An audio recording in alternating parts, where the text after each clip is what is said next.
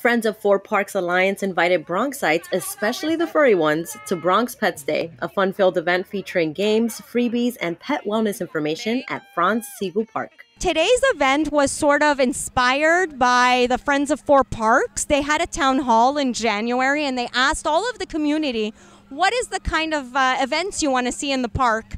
And uh, we threw out a Pets Day and we thought it was a good way to get the community out here, the pets out here, the dog owners out here, and remind our dog owners that they need to clean up after their pets uh, and keep the parks clean. We also felt like, I think, especially with the pandemic, there's just been an increase and a boom in the number of pet owners and dog owners. A lot of people adopted dogs, um, and you know, anecdotally, like you could you could see that as a resident that lives in the neighborhood. The event also helped foster a sense of pride and agency over our green spaces in the South Bronx. Volunteers of Friends of Four Parks normally gather to remove litter and debris at parks like Franz Sigel in an effort to ensure that spaces are beautiful, accessible, and family friendly. It's good to have things like this in the Bronx. Uh, I usually go to like Manhattan if I want to play with a lot of dogs. We don't get a lot of love in this dog park, but having events like this, you know, brings the community together. There's so many activities and so many opportunities for our dogs in the Bronx.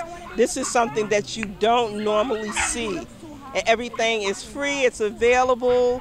It's just a wonderful time to be here. Events like this are really important to bring people together um, and people can get to know one another and at the same time get more involved in their community. An array of Bronx based vendors and businesses were invited to showcase their services and meet pet owners where they are by providing local pet goods and resources at the park. There's so much richness and diversity in community here in the South Bronx, and that's not highlighted often, and it needs to be shared. Um, and resources need to be available. Where Two Pet Dispatch was born out of the fact that we needed someone like us right now when we had a dog. He just recently passed away a few months ago. The more people know that we have a service that can accommodate you and your pet, and you could get to where you got to go no matter where, what time, we're available for you guys.